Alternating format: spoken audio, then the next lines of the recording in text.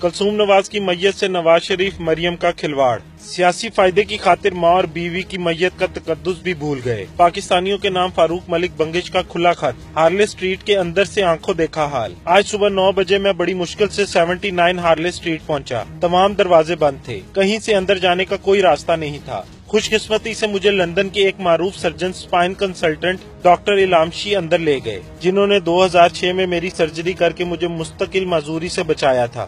اس وقت میں نے اپنی کتاب دی برتھ آف بامبر ان کے نام سے منسوب کی تھی۔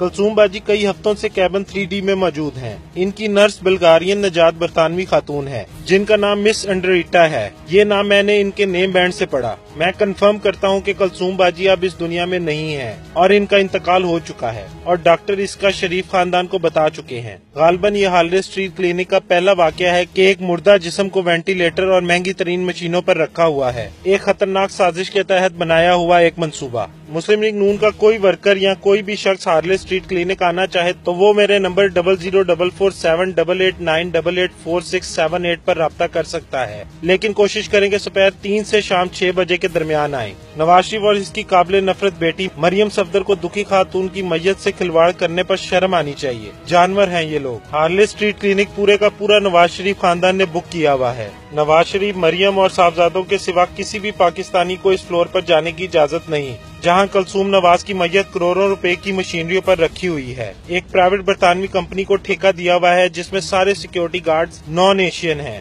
جنہیں اردو نہیں آتی۔ شریف خاندان نے ہسپتال انتظامیہ کو پاکستان سے لوٹے گئے اربوں میں سے کروڑوں ادا کر کے ان کا منہ بند کر دیا ہے۔ اور ساتھ ہی یہ معاہدہ بھی کیا گیا ہے کہ کوئی بھی ڈاکٹر یا نرس بغیر کسی تلاشی کے اندر یا باہر نہیں جا سکے گا۔ مجھے شدید تکلیف ہے کہ میں پچھلے پندرہ سال سے نواز شریف کو سپورٹ کرتا رہا۔ نواز شریف انسان کے لانے کے بھی قابل نہیں۔ فاروق ملک بنگش۔